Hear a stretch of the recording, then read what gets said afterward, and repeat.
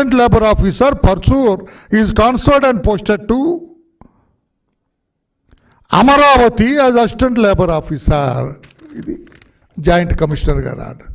Commissioner గారు ఒక order ఇస్తారు.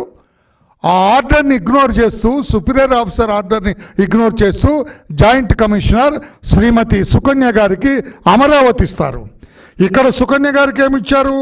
సర్కిల్ టు గుంటూరు ఇచ్చారు. కాదని అమరావతి ఇచ్చారు.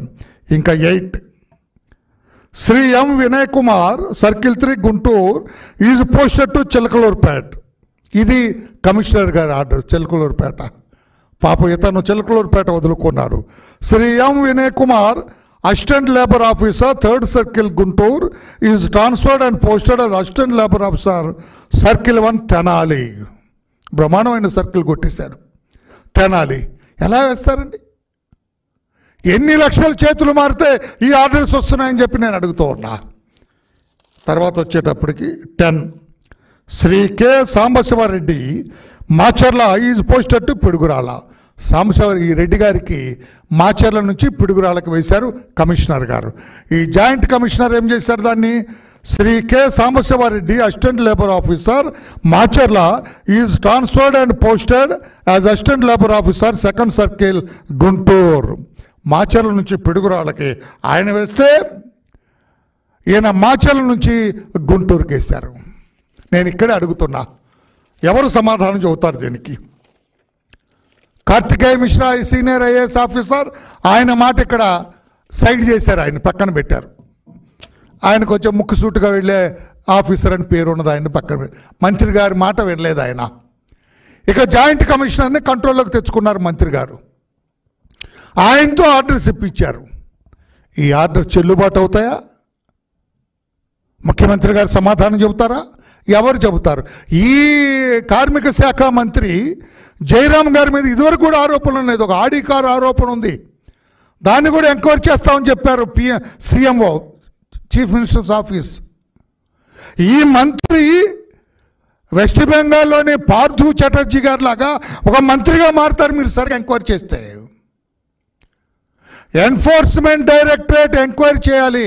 ఎంక్వైరీ చేస్తే ఈ గుమ్మనూరు జయరాం కార్మిక శాఖ మంత్రి ఈ ఒక్క కేసులోనే ఆయన పార్థు చటర్జీ వెస్ట్ బెంగాల్ మినిస్టర్ ఎవరినైతే ఈడీ అరెస్ట్ చేసిందో నిన్న వెస్ట్ బెంగాల్లో మంత్రి గారిని ఈయన కూడా అరెస్ట్ కాబడే అన్ని అర్హతలు ఉన్న మనిషి.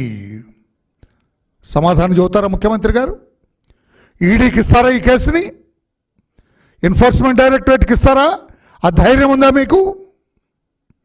అవినీతికి పాల్పడుతున్నారని చెప్పి నందమూరి తారక రామారావు గారు చీఫ్ మినిస్టర్గా ఉన్నప్పుడు ట్రాప్ చేసి పట్టుకొని మంత్రిని సస్పెండ్ చేసి అరెస్ట్ చేసిన దాఖలాలు ఉన్నాయి నోటు పుస్తకాల్లో కొంచెం అవినీతికి పాల్పడ్డారని ఒక మంత్రిని సస్పెండ్ చేశారు.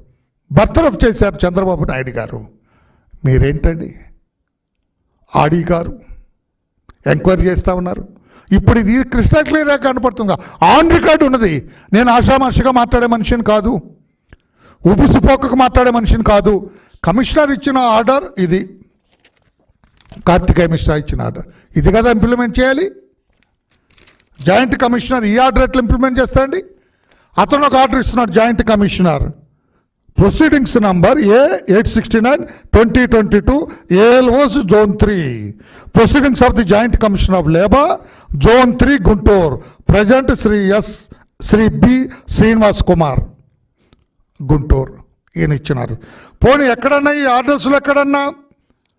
ఏమని మెన్షన్ చేసి accordingly the following orders are issued in respect of assistant labour officer commissioner గారి ఆర్డర్స్ ప్రకారం నేను ఇస్తున్నానని చెప్పాడు కానీ కమిషనర్ గారు ఈ మార్పు చేయడానికి ఒప్పుకున్నారు.